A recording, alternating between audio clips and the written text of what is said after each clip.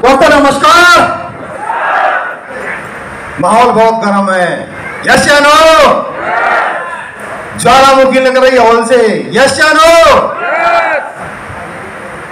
दोस्तों, मेरा नाम योगेश शर्मा है। और पेशे की बात करूँ तो मैं किसान था। पढ़ा लिखा किसान। पढ़ाई की प्रयास किया सरकारी जॉब के लिए।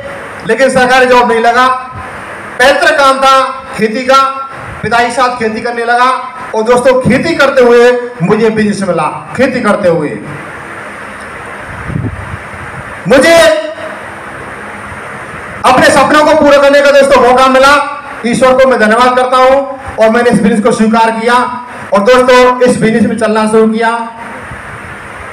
सिस्टम की बात को फॉलो किया, गुरुओं की बात को फॉलो किया। और इसमें एक बात समझ में शुरू में आ गई कि अपना दिमाग नहीं लगाना है। दोस्तों, अपना दिमाग नहीं लगाया। जैसा गुरुजी बोलते गए वैसा मैं करता गया। और दोस्तों, आज किसान होते हुए इस बिज़नेस के अंदर में रूबी लेवल पर हूँ दोस्तों रूबी लेवल पर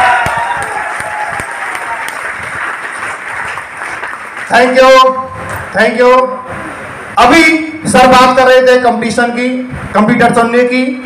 दोस्तों हमारे भरतपुर शहर में, भरतपुर शहर में गजेंद्र सर की टीम से हैं मिस्टर अजय सोगर जी। अजय सोगर जी, उनका नाम है दमदार लीडर है और सर वो मैं बताना चाहूँगा, मुझसे सीनियर लीडर है वो सीनियर लीडर दोस्तों, कहते हैं कि कंपटीशन करना है तो अपने से सीनियर से करिए। यस या तो मैं आज इस मंच के माध्यम से ऐलान करता हूँ कि मैं